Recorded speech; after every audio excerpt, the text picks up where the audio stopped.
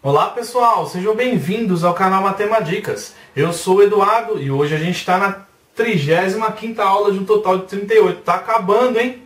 Faltam essa aula e mais três aí. A gente detonar toda essa parte de matemática financeira e raciocínio lógico do, do Banrisul, nosso projeto Express 2015. Essa questão, a próxima questão, está aqui na descrição desse vídeo no YouTube, assim como no blog do Matemadicas. Não deixe de se inscrever no canal para que você não perca mais nenhuma aula. Agora eu vou disponibilizar para você a questão na tela. Pause o vídeo, resolva e depois acompanhe a resolução aqui comigo. E aí, conseguiu resolver? Vamos ler essa questão já separando os dados. Um funcionário da iniciativa privada gastava 30% do seu ordenado para o pagamento da prestação de seu veículo. Então ele tinha o valor do salário dele, o pagamento, e aí 30% do pagamento era o veículo. Certo?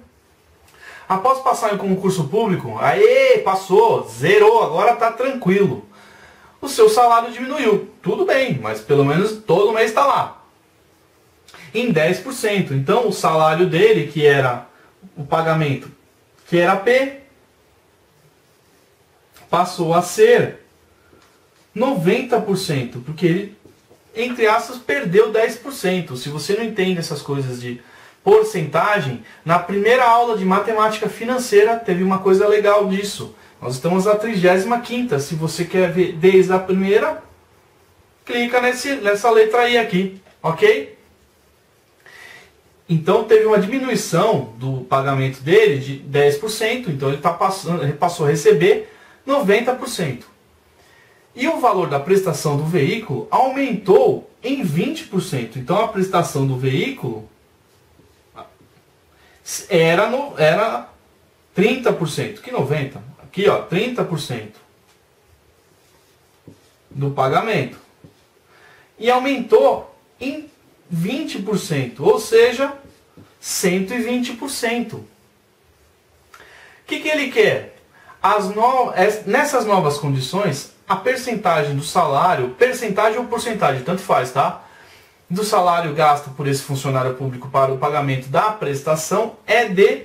Então é o seguinte, ele quer a parte que isso representa nesse total. É a definição de porcentagem, é a parte sobre o todo. Só que nesse caso o nosso todo vale 90%. Então vai ficar a parte que é 30% sobre vezes 120% sobre o total. 90%.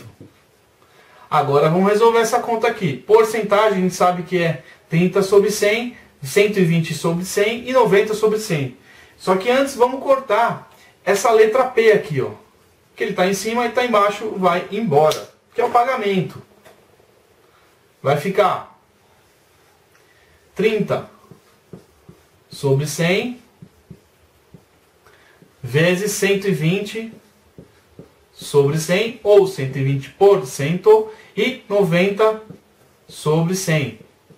Não fique com medo dessas operações com frações. Se você tem dúvida com essas operações com frações, clica nessa letra I aqui. Vai ficar isso aqui tudo, que é o tá igualado a parte sobre o todo, só vou repetir aqui, parte do todo igual. Isso aqui tudo, vamos cortar o que a gente consegue aí, vai ficar, corta esse zero com esse zero, esse zero com esse zero e esse zero com esse zero.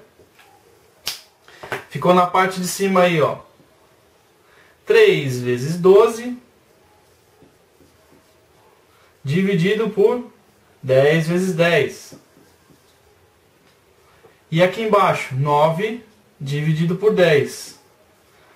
Como é que é divisão de fração? A gente mantém a de cima e inverte multiplica pelo inverso da de baixo. Vai ficar 3 vezes 12 sobre 10 vezes 10 vezes 10 sobre 9. Inverter, multiplicou pelo inverso da de baixo.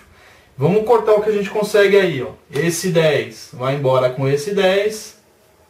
Dá para simplificar esse 3 com esse 9. 3 por 3 dá 1.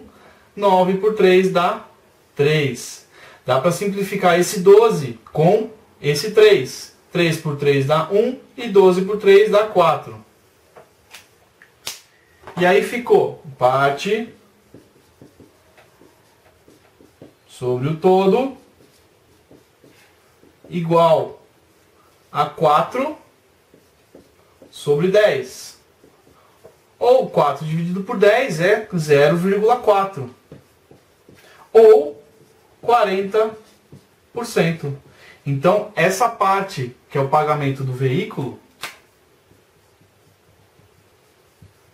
depois que a pessoa passou né, no concurso, teve um aumento de 20%. Essa parte aqui representa, nesse total de 90%, 40%. E isso está na alternativa C.